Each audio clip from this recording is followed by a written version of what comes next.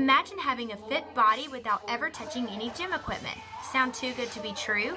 Well, people who use the bar technique say it's not. The Pure Barre Studio in Tuscaloosa promises an intense and effective workout through isolating each muscle group and taking it to fatigue, all through using a ballet bar. I feel like it's different automatically just by the technique and different in that by using your own body resistance rather than exterior weights, your muscles change even faster. Pure Barre uses techniques to protect your joints by using low impact movements and cutting out the high impact exercises that can cause injuries. Taking these classes may not feel like you're doing much physical activity, but studio owner Jody Bierman says the shakiness in your legs tells a different story. When you get your muscle to fatigue, your body shakes. So it's kind of different for everybody. When you walk into a studio like this, you may expect to see dancers in tutus and toe shoes. Well, I'm no ballerina, and you don't have to be either to get fit the Pure Barre way. If you can stand up and hold the bar, you can do Pure Barre.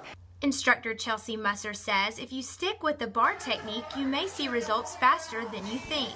If you can take 10 classes within two weeks and you're really, uh, you know, intense in the workout each time you take it, you should see results within those two weeks. Although Pure Barre has only been open for less than a year, it seems like more people are wanting to lift, tone, and burn the Pure Barre way. Reporting in Tuscaloosa, I'm Alaina Fondren.